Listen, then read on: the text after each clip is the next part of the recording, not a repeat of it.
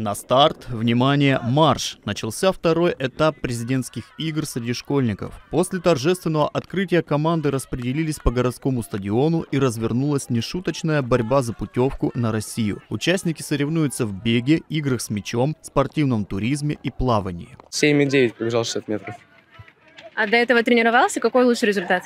Да, конечно, мы тренировались, готовились к соревнованиям. Лучший результат был около 7,6, поэтому крайне недоволен. Победитель отправляется, да, во Всероссийский детский центр в э, смена, это в город Анапа. Почему хочется туда поехать?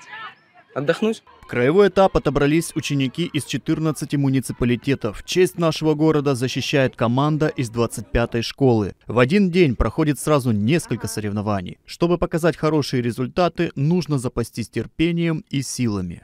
легкой атлетики. В плавании мы сегодня участвовали, в баскетболе и в теннисе настольном.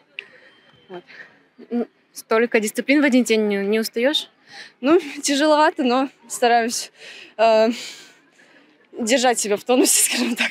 Подведение итогов, торжественное закрытие и награждение пройдут в воскресенье. Победители краевого этапа поедут в Анапу для участия во Всероссийском, где будут защищать честь своего округа. Евгений Михайлов, Полина Мельниченко, Игорь Антонов, Телемикс.